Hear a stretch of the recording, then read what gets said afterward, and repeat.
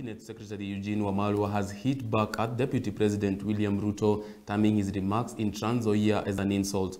Wamalwa has asked the Deputy President to stop insulting him as he did not insult him when he said William Ruto wanted to slap him. Wamalwa reiterated that what he said was that Ruto wanted to sack him and that remains the truth. Our reporter gives us some more insight. Reiterated that what he said about Ruto's plan to snag him was not an insult but the truth. Wamalwa said that the deputy president indeed wanted to slap him together with Fred Matiang'i beside plans to send him home. During his campaign in Trans Nzoia County, recently the deputy president William Ruto, when answering the CS remarks about slapping him, said that in his community women are not slapped, a statement that has been translated to mean he insulted the CS. On the other hand, Kakamega governor has asked the deputy president to respect Luhya community. Oparanya wants Ruto to stop insulting the community leaders.